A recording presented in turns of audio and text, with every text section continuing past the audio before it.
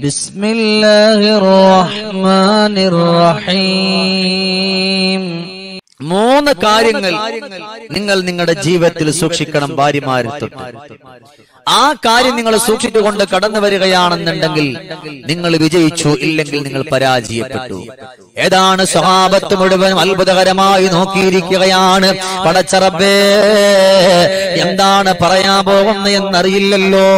വേദനയോടെ സങ്കടത്തോടെ ദുഃഖത്തോടെ കാത്തിരിക്കുകയാണ്. എന്തേ പടച്ചറപ്പേ നടക്കാൻ പോകുന്നത് എന്ന് പറഞ്ഞുകൊണ്ട് കാതോർത്തുകൊണ്ട് കാത്തിരിക്കും വലിയാർദങ്ങൾ പറഞ്ഞു. അതിൽപ്പെട്ട ഒന്നാമത്തെ കാര്യം ഏതെന്നറിയുമോ നിന്റെ ഭാര്യ നിന്റെ ഭാര്യ നിനക്ക് എന്ത് ചെയ്തു തന്നാലും പടച്ചറപ്പേ അതത്ര പോരായ്മയുണ്ടെങ്കിലും നീ അതിനെ പൊരുത്തപ്പെട്ടു കൊടുത്ത് നല്ല വർത്തമാനം പറയാ. നീ കടന്നു വന്നാൽ അൽഹംദുലില്ലാ നീയാണ് ഏറ്റവും നല്ലവനെന്ന് അലിയൻ കറമഹുല്ല ഇന്നതാ പരസ്യമായിട്ടാണ് ഭാര്യയൊക്കെ അല്ല ഭാര്യയോട് പറയുന്നത്. നീ ഇന്ന് ചോറുണ്ടാക്കിയത് ശരിയായില്ല കറി വെച്ചത് ശരിയായില്ല നിനക്ക് അറിയില്ല നിനക്കതിനെ പറ്റി അറിയില്ല. നീ മന്ദബുദ്ധിയാണ് നിനക്ക് തീരെ വിവരമില്ലാത്തവളാണ് എന്ന് പറഞ്ഞുകൊണ്ട് ഒന്നും അറിയില്ല എന്ന് പറഞ്ഞിട്ട് ആളുകളുടെ മുമ്പിൽ വെച്ചുകൊണ്ട് നിങ്ങളുടെ ഭാര്യമാരെ ഒരിക്കലും നിങ്ങൾ കളിയാക്കല്ല. അരിയാർ പറഞ്ഞ ഈ വാക്ക് നമ്മുടെ ജീവിതത്തിലേക്കൊന്ന് കൊണ്ടുവരുമോ? മോനെ നിങ്ങളുടെ ഭാര്യമാർ എന്തെങ്കിലും നിങ്ങൾക്ക് ഉണ്ടാക്കി തന്നാൽ അള്ളാഹുവേ ആളുകളുടെ മുമ്പിൽ വെച്ച് നിങ്ങളവരെ കുറ്റപ്പെടുത്തരുത് നിങ്ങളവരെ കളിയാക്കരുത്. ആ സമയത്ത് ആ പെണ്ണിന്റെ മനസ്സിലുണ്ടാകുന്ന വേദന ആ പെണ്ണിനല്ലാതെ മറ്റാർക്കും അറിയില്ല. നിന്റെ ആക്ഷോഭമല്ല നിന്റെ ആരോപണം കേട്ടിട്ട് പോലും വീണ്ടും അവിടെ നിന്ന് നല്ലതുപോലെ ഭക്ഷണം ഉണ്ടാക്കി തരുന്ന നിന്റെ പെണ്ണിനെ നീ കളിയാക്കല്ല. ആളുകളുടെ മുമ്പിൽ വെച്ചാണെങ്കിൽ നീ അവളോട് പറയണം മോളെ നീ ഉണ്ടാക്കിയ ഈ ഭക്ഷണമുണ്ടല്ലോ എന്ത് രുചിയാണ്? നീ ഉണ്ടാക്കിയ ഭക്ഷണം നല്ല രുചിയുണ്ട്. അങ്ങനെ ഒന്ന് പറഞ്ഞു നോക്ക്. പിറ്റേ ദിവസം അലഹമില്ല അതിനേക്കാൾ നല്ല ഭംഗിയുള്ള ഭക്ഷണം ഇല്ലെങ്കിൽ പറയും ആ ഞാൻ ഇനിയിപ്പോ എന്തുണ്ടാക്കിയാലും കുറ്റല്ലേ നിങ്ങൾ ഈ ഉള്ള ചമ്മന്തി ചോറും കഴിച്ചാൽ മതി. എന്ന് പറയില്ലേ? നമ്മൾ നല്ലത് പറയുമ്പോ നല്ല കറിയും ചോറും കിട്ടും. ഇല്ലേ? ഇല്ലേ? നമ്മൾ പറയാണ് വീട്ടിന്റെ ഉള്ളിലേക്ക് പോകുമ്പോ അലഹമില്ല വസ്ത്രമൊക്കെ നല്ല ഉഷാറായി നല്ല വെളുത്തിട്ടുണ്ട് നല്ല കഴുകിയിട്ടുണ്ട് മാഷാ അല്ല ഏ എന്ന് പറഞ്ഞാൽ അടുത്ത ദിവസം നല്ല അടിപൊളിയായിട്ട് നിങ്ങൾ കൊണ്ടിട്ടാ മതി എടുത്ത് കഴുകി നല്ല സുന്ദരമാക്കി അവിടെ ഇടും. അതേസമയം നമ്മൾ പറയാൻ നിനക്ക് തീരെ ബോധമില്ല. നീ അത് ചെയ്തിട്ടില്ല. നിനക്ക് അതിനെ പറ്റി ഒന്നും അറിയില്ല തൊട്ടുകൊണ്ട പിന്നെ അവർ തീരെ മൈൻഡും ചെയ്യില്ല. അല്ലേ? അള്ളാഹുവേ നമ്മൾ അവർക്ക് വേണ്ടിയിട്ട് ദ്വാരക്കണം നിനക്ക് വേണ്ടിയതെല്ലാം ചെയ്തു തരുന്ന നിനക്ക് ഭക്ഷണം തരുന്ന. ഇന്നലെ വരെ നീ അവരെ ചീത്ത വിളിച്ചിട്ടുണ്ടാകും. നീ അവരെ കുറ്റപ്പെടുത്തിയിട്ടുണ്ടാകും. നീ അവരെ കളിയാക്കിയിട്ടുണ്ടാകും. എന്നാൽ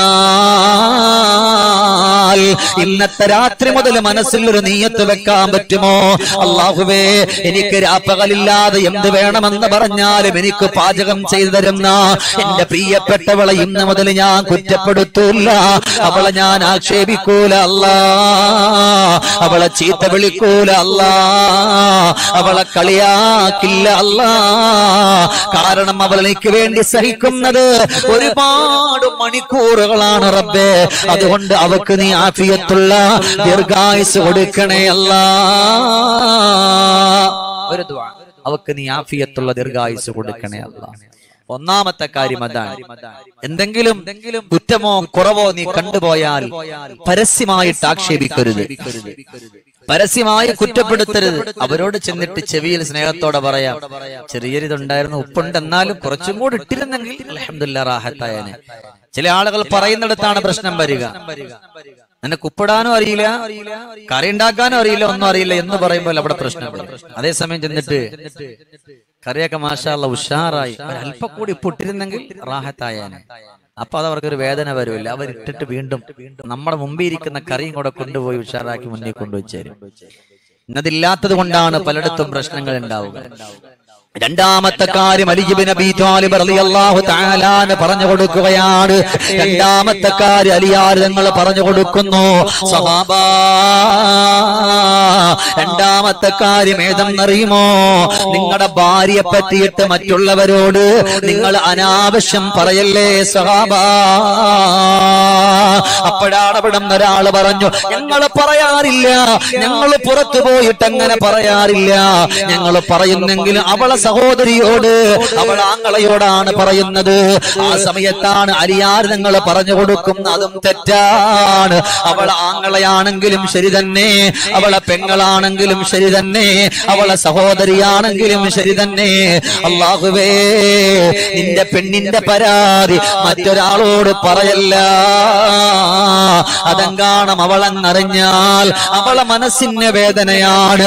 എന്നാലും എന്നെ പറ്റി ഇത്രയെല്ലാം ഭക്ഷണം വെച്ച് കൊടുത്തിട്ട് വസ്ത്രമലക്കി കൊടുത്തിട്ട് നല്ലതുപോലെ മുന്നോട്ട് കൊണ്ടുപോയിട്ട് എന്നെ പറ്റിയിട്ട് കുറ്റപ്പെടുത്തിയല്ലോ.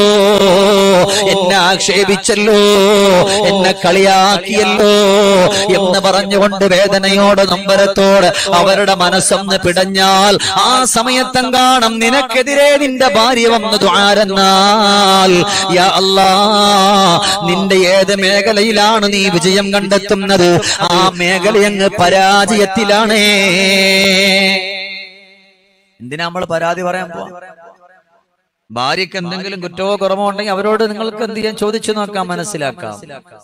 അതേസമയം ഇറങ്ങിയിട്ട് പുറത്തുള്ളവരോടൊക്കെ ചെന്നുകൊണ്ട് അവരെ ആക്ഷേപിച്ച് അവരെ കുറ്റപ്പെടുത്തി അവരെ കളിയാക്കി അവരെ നൊമ്പരപ്പെടുത്തി അങ്ങനെയാണ് കടന്നു വരുന്നതെങ്കിൽ വല്ലാ നിനക്ക് രക്ഷയില്ല. നിനക്ക് രക്ഷയില്ല. ആരാ ഇത് പഠിപ്പിക്കുന്നത്?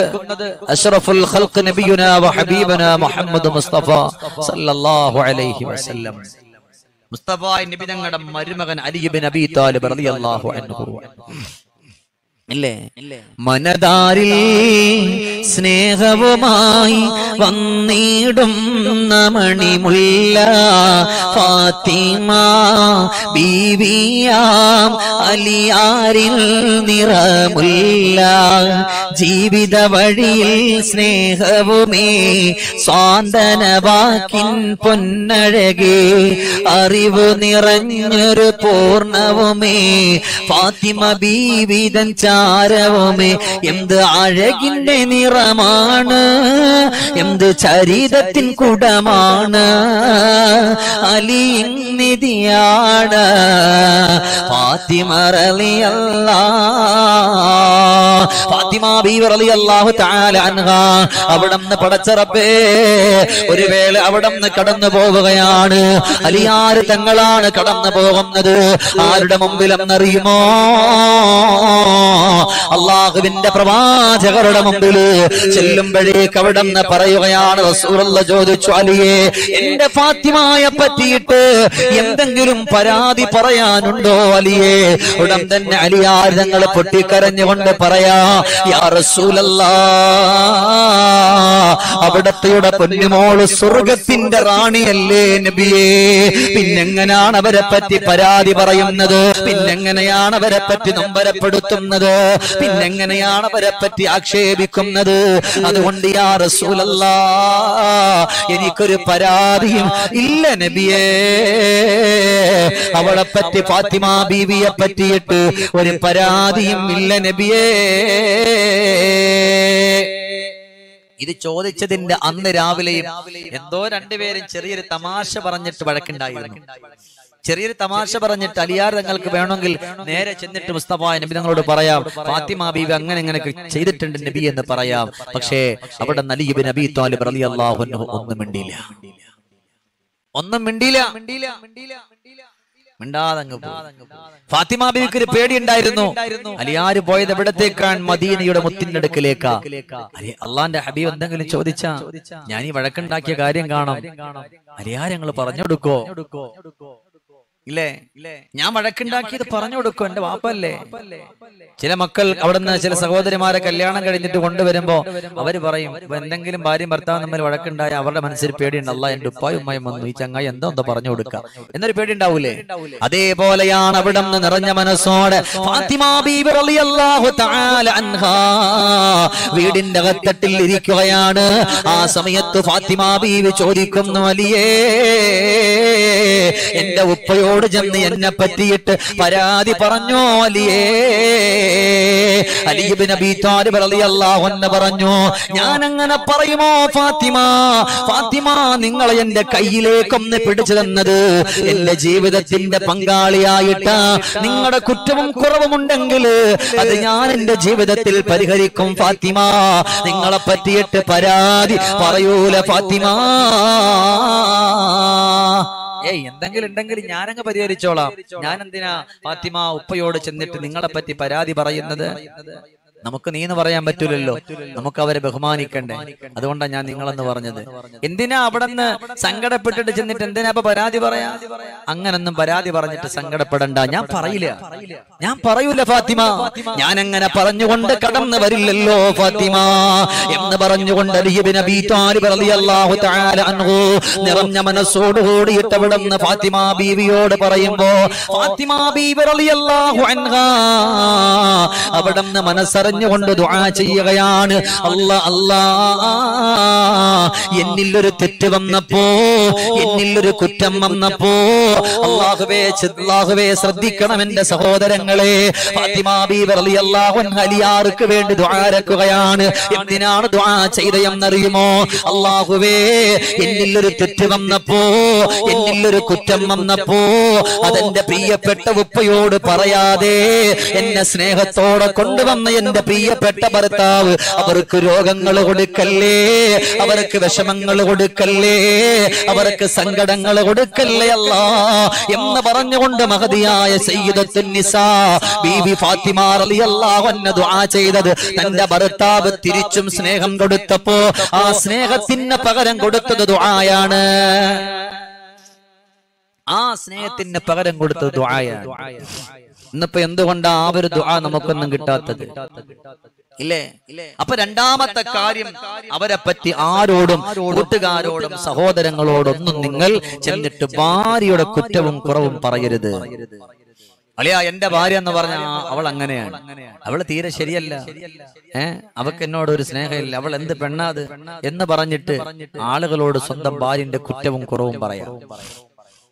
നിനക്ക് എന്തെങ്കിലും സംഭവിച്ചാൽ നീ അങ്ങോട്ട് പൊരുത്തപ്പെട്ടേക്ക്. എന്നാ നിനക്ക് അള്ളാഹു താല പൊരുത്തപ്പെട്ടു തരൂല്ലേ? എന്നാൽ അള്ളാഹു നിനക്ക് പൊരുത്തപ്പെട്ടു തരൂല്ലേ? അത് മാത്രവുമല്ല മോനെ ദുനിയാവിന്റെ പുറത്തുകൂടെ നീ എന്ന് കടന്നാൽ അള്ളാഹുവിന്റെ റഹ്മത്തിന്റെ മാലാകമാര് നിനക്ക് വേണ്ടി മനസ്സറിഞ്ഞിട്ട് ദ്വാരക്കുകയാണ്. അവർക്കൊരു കുറ്റം വന്നു. തെറ്റ് സംഭവിക്കും മനുഷ്യന്മാരാണ്. അല്ലേ? നമ്മൾ തിരിച്ചു അങ്ങോട്ടും ഇങ്ങോട്ടും പറയാൻ വേണ്ടി പോകണ്ട. അതിന്റെ ഒരു ആവശ്യം നമുക്കില്ല. അതിന്റെ ഒരു ആവശ്യം നമുക്കില്ല. അതുകൊണ്ടാണ് അവിടെ നിന്ന് പഠിക്കാൻ പറയുന്ന അലിയാർ നിങ്ങൾ രണ്ടാമത്തെ ഇതാണ്. മൂന്നാമത്തേതായിട്ട് അലിബിൻ അബീ റളിയല്ലാഹു പറഞ്ഞു പോവുകയാണ്. നിന്റെ ഭാര്യയിൽ ഒരു പക്ഷേ പല ന്യൂനതകളും കണ്ടേക്കാ. വല്ലാ ആ ന്യൂനത നിന്റെ ഉമ്മയോടും നിന്റെ ബാപ്പയോടും പറഞ്ഞ് നീ അവളെ കളിയാക്കല്ല. നിന്റെ ഭാര്യയിൽ എന്തെങ്കിലും ന്യൂനതകൾ സംഭവിച്ചേക്കാം. പക്ഷേ നീ അങ്ങനെ പറഞ്ഞിട്ടുണ്ടെങ്കിൽ അവളോട് പൊരുത്തം ചോദിക്കാം. അതിനുശേഷം പിന്നെ പറയാതിരിക്കും ആ കുറ്റവും കുറവും ഉണ്ടെങ്കിൽ നിന്റെ ഉമ്മയും നിന്റെ വാപ്പയും കാണുമ്പോ നീ അവരോട് പറയണം അവൾ ഇങ്ങനെയാണ് അവൾ ആനയാണ് ചേനയാണ്? ഇവളെ പോലെ വൃത്തികെട്ട സാധനം ലോകത്തില്ല എന്നൊക്കെ പറഞ്ഞു കൊടുത്താൽ നമ്മളെ പോലെ വൃത്തികെട്ട സാധനങ്ങൾ വേറെ ലോകത്തില്ല. അറിയാതെ പലതും വന്നു പോയിട്ടുണ്ട്. ചില സഹോദരിമാരൊക്കെ ഇങ്ങനെ പറയാൻ മനസ്സുകൊണ്ട്. അങ്ങനെ ഉസ്താദ് അങ്ങോട്ട് പറഞ്ഞു വെച്ചു കൊടുത്തോളി. എല്ലായിടത്തും അങ്ങനെ അപ്പൊ നടക്കാം അല്ലേ? നമ്മൾ ആരോടും പറയരുത്. ഇല്ലേ? അള്ളാഹു ഒരു മനുഷ്യനിക്ക് ഒരുപാട് പവറുകൾ കൊടുക്കും. ഒരു മനുഷ്യനിക്ക് ഒരുപാട് പവറുകൾ കൊടുക്കും. എന്താണ് പവർ എന്നറിയുമോ അത് കുടുംബ ജീവിതവുമായിട്ട് മുന്നോട്ട് കടന്നു പോകുമ്പോഴാണ്. കുടുംബത്തിന്റെ സന്തോഷങ്ങളുമായി കടന്നു പോകുമ്പോഴാണ്. അല്ല അല്ലാ നിങ്ങൾക്ക് വേണമെങ്കിൽ നിങ്ങളുടെ ഉമ്മയെ പോലെ കണ്ട് നിങ്ങളുടെ ബാപ്പയെ പോലെ കണ്ട് നിങ്ങളുടെ ഭാര്യമാരെ ബാപ്പമാരോട് പറയാം. പക്ഷേ പടച്ചവനെ ഓർത്തുകൊണ്ട് അവരോട് പറയാതിരുന്നാൽ നിങ്ങളാണ് ദുനിയാവിന്റെ പുറത്ത് വിജയിക്കുന്നവരെന്ന്. സയ്യുദുനീബുന മുഹമ്മദ് റസൂലുള്ളാഹ് സല്ലല്ലാഹു അലൈഹി വസല്ലമ തങ്ങൾ പറഞ്ഞു കൊടുത്തുകൊണ്ട് കടന്നു വരുമ്പോൾ എന്റെ പ്രിയമുള്ള മുഅ്മിനെ അത് കേൾക്കാനും പഠിക്കാനും നിങ്ങളുടെ ജീവിതത്തിൽ കൊണ്ടുവരുവാനും നിങ്ങൾക്കൊന്ന് കഴിഞ്ഞു പോയാൽ നിങ്ങളാണ് ദുനിയാവിന്റെ പുറത്ത് വിജയിക്കുന്നവര് നിങ്ങളാണ് സന്തോഷകരമായി കടന്നു വരുന്നവര് എന്തിനാ? അത് മാത്രവുമല്ല അലിബിൻ അബി താലിബ് അൻഹു പറഞ്ഞു കൊടുക്കുകയാണ് സഹാബ അവരെ നിങ്ങളൊന്ന് സഹായിക്കുമോ സഹാബ അവർ ചെയ്യുന്ന എല്ലാത്തിനും കുറ്റവും കുറവും മാത്രം പറയാതെ നിങ്ങൾ അവരെ വന്ന് സഹായിക്കണം. അവർ ചെയ്യുന്നതിന് കുറ്റവും കുറവും മാത്രം കണ്ടെത്താതെ നിങ്ങൾ അവരെ സഹായിക്കാൻ വേണ്ടി കടന്നു വന്നാൽ നിങ്ങളെപ്പോലെ ഭാഗ്യമുള്ളവരാരുമില്ല. നിങ്ങളെപ്പോലെ സന്തോഷമുള്ളവരാരുമില്ല.